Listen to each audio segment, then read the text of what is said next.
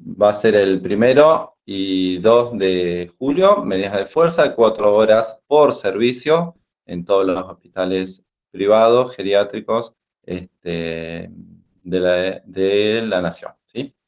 Este, así que bueno, hace un mes y medio que venimos con negociaciones eh, ante el Ministerio de Trabajo, pero no, al no haber un acuerdo, bueno, llegamos a esta medida de fuerza. Es un poco complicado hacer una jornada de protesta de salud en pandemia, pero bueno, es lo único. Se pide un 45%, eh, julio 15%, septiembre, noviembre y 5% en diciembre con una cláusula de revisión en, en febrero, como veníamos hasta ahora. Pero bueno, no hemos tenido una contestación favorable desde las distintas cámaras este, para con los empleados de sanidad.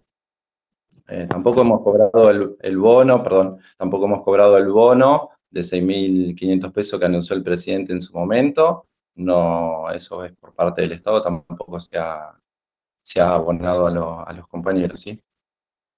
Se van a garantizar la atención de emergencia, este, como siempre lo hemos hecho, este, por ahí algún turno, algún médico que quiera suspender, este, la atención es de turnos, se van, eh, turnos de, algún, un ejemplo, placas, eh, de, diagnóstico, por ahí se ven suspendidos, pero después garantizar la atención este, a todas las personas que quieran ir al hospital de emergencia. Eh, más los servicios de emergencias.